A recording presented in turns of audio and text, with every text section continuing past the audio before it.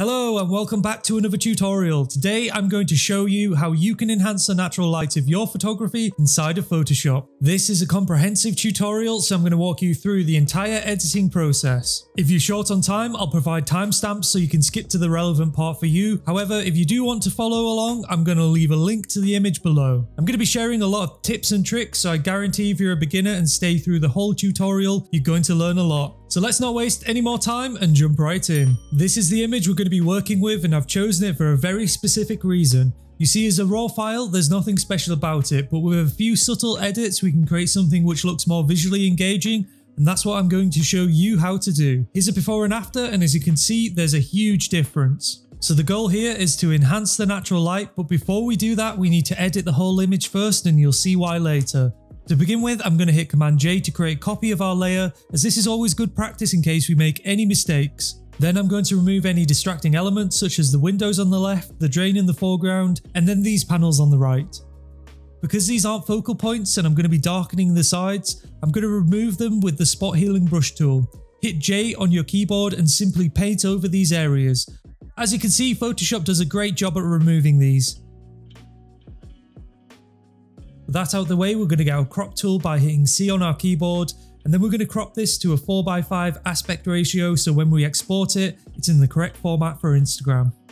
Now we can start to add our adjustment layers. The goal here is to create more contrast between the light and dark areas. I want our subject to almost look like a silhouette. To achieve this, I'm going to be stacking our adjustment layers and making small changes with each one we add. Go to your adjustment layers and then select curves, if you haven't used the histogram before, it's really simple. Essentially what you have is the blacks in the bottom left, and this represents the areas of your image that are completely black, meaning that there's no detail. Then we have the shadows around this area, midtones in the middle, highlights here, and then whites at the top. We want to add more contrast into the image, so what we need to do is drop the shadows like this, and as you can see that darkens everything. But what we don't want is our subject to be too dark as she's the focal point, so we need to mask out that curves layer. Let's zoom in and select the mask and then hit B to get our brush tool. With a soft brush selected and black as our foreground colour, we're going to paint over our subject. You can see as we do this, it's hard to know exactly where we've masked. So here's a quick tip. If you hit the forward slash button on your keyboard, you'll be able to clearly see the areas you're masking, which is really helpful to see if we've gone too far in some areas. If you have, you can hit X on your keyboard and this will switch from black to white and then we can paint back these areas. To brighten our subject, I'm going to create a copy of the layer by hitting Command J on our keyboard, and then invert this by hitting Command I.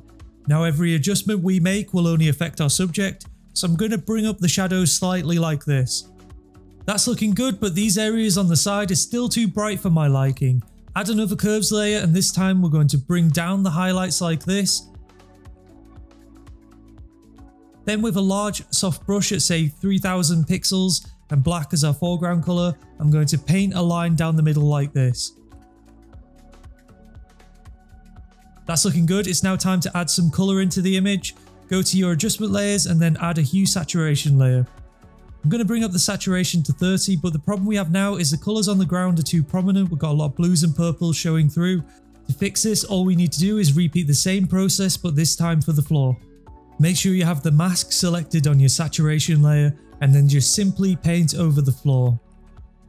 With that done, we want to mute the colours, so we're going to hit Command J on our keyboard to create a copy of the saturation layer and then invert this by hitting Command I and bringing the saturation down to minus 50. Now we can begin to enhance the natural light. To do this, I'm going to be using these two free images I found online. There's going to be a link in the description below if you want to download them. Let's add our first image and then right click this layer and convert it into a smart object. Then change the blend mode to screen and let's scale this up into position right at the top. Add a mask and then start painting out the areas we don't want. The idea here is to make it subtle so let's get rid of any obvious sun rays. Then we need to repeat the same process for the second layer but we're going to do it a little bit different this time. Let's bring this layer into the composition and then right click again and convert it into a smart object. This time we're going to click inside the smart object and then what we need to do is change the coloration of this layer. So go to your adjustment layers and then add a hue saturation layer and make sure you check colorize and then we can adjust the hue to match the image. Once we've done that, we need to hit Command S to save the smart object, and then we can jump back into our working image. Now we need to repeat the same process, so change the blend mode to screen and then simply just mask out the areas that we don't want. And again, we're going to try and make sure it's subtle. Once that's done, we're ready to add our dreamlike glow effect. We need to start by compressing all our layers into one, with the top layer selected, hit Command Shift and E on your keyboard, and then all our layers below will be compressed into one single layer. With that layer selected, go to Image and then Apply Image. Make sure your options are the same as mine with the blend mode set to multiply. Hit OK and then turn the blend mode to screen. Next, go to Filter, Blur and then Gaussian Blur. Set the radius to 24 and hit OK. If we add a layer mask to this, we can paint back some of the areas where the light is bleeding into our shadows or on our subject, like so. And I think we're done. Of course, there are many more small tweaks you can make, but this is in a pretty good place. Don't forget to like the video and subscribe if you found this helpful. Happy to answer any questions you have in the comments. Thanks for watching and have a great day.